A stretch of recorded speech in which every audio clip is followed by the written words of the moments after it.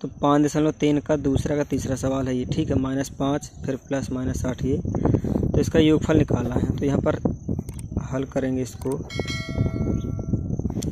सबसे पहले ए दिया है, ए कितना है? माइनस पाँच। ठीक है, फिर उसके बाद हमें डी निकालना है। डी कैसे निकालेंगे? दूसरे पद में पहला पद घटा के। तो दूसरा पद कितना है? माइनस आठ। ठीक है, और फिर ये दूसरा पद, पहला पद कितना है? माइनस पाँच। माइनस, फिर यहाँ पर माइनस पाँच, ऐसे करेंगे इसको, ठीक है? ये वाला माइनस पाँच इसके मतलब ये वाला माइनस पाँच के साथ लगा है, और फिर घटाना हमें तो ये माइनस हम अलग से लगाएँगे। कितना हो जाएगा? माइनस आठ, और ये माइनस, और माइनस का गुणा होगा, कोष्टक का मतलब गुणा होता है तो मल्टीप्लाई होगा तो प्लस हो जाएगा यहाँ पर पाँच। अब डी बराबर माइनस आठ में पाँच घटाएँगे, कितना बचेगा? माइनस तीन।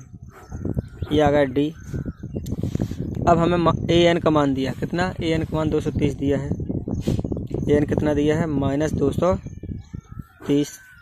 ठीक है।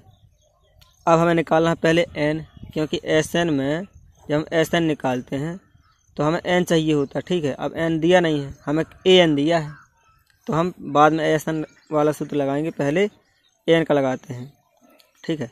तो ए एन बराबर कितना? A plus N minus one D. अब ए एन कितना दिया है? माइनस दो सौ तीस तो माइनस दो सौ तीस। बराबर ए कितना दिया है? माइनस पाँच। फिर प्लस एन कितना दिया है? पता नहीं हमको। Minus one. और डी कितना दिया है? माइनस तीन आ गया हमारा। ठीक है। अब तो माइनस पाँच को इस साइड ले आएँगे। तो माइनस दो सौ तीस और ये प्लस पाँच हो जाएगा। माइनस पाँच इस साइड आएगा तो। बराबर कितना बचा? N minus one. और माइनस तीन। अब दो सौ तीस में घटाएँगे पाँच सौ कितना आएगा? माइनस दो सौ पच्चीस। नहीं हाँ दो सौ पच्चीस आएगा, ठीक है। अब बराबर एन माइनस एक और माइनस तीन। अब माइनस तीन भी साइड आ जाएगा। ये माइनस तीन का मतलब गुणा है। क्या है यहाँ पर? ये गुणा है। क्या है यहाँ? गुणा। क्योंकि डी इसके साथ गुणा करता है ना तो हम यहाँ पर कोष्टक लगा देंगे। तो यहाँ पर गुणा रहेगा माइनस तीन माइनस तीन माइनस तीन। अब माइनस तीन को साइड लाएँगे।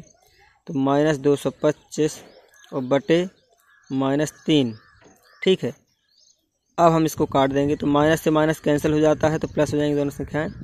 फिर तीन सत्ते इक्कीस, बाईस में इक्कीस घटाएँगे, एक एक बचेगा। ये पंद्रह हो जाएगा, तीन पचे पंद्रह। ठीक है? तो यहाँ पर पचहत्तर बस आएगा। क्या आएगा? पचहत्तर। जो ये माइनस लगे हैं, ये माइनस कैंसिल हो जाएँगे क्योंकि अंश वाले माइनस से, हर वाला माइनस या हर वाले माइनस से अंश वाला माइनस कैंसिल हो जाता है। अब बराबर यहाँ कितना बचा? एन माइनस एक। अब माइनस एक को साइड लाएँगे तो पचहत्तर प्लस एक हो जाएगा। एन ठीक है। तो पचहत्तर प्लस एक एक को साइड ले आए। तो पचहत्तर एक छिहत्तर हो जाएगा। कितना होगा छिहत्तर। एन एन कितना निकाला? छिहत्तर। अब हमें एन भी मिल गया ए भी मिल गया और डी भी मिल गया। तीनों चीज़ मिल गई। अब हम एस एन का सूत्र लगा देंगे तो हमें समांतर श्रेणी का योगफल मिल जाएगा। एस एन बराबर क्या हो जाएगा? एस एन बराबर दो एन बटे दो दो A plus N minus one और डी। तो हम लगाएँगे यहाँ पर एन का मान कितना निकाला? छिहत्तर बटे दो। एन का मान छिहत्तर है ना? फिर दो, ए कितना हमारा?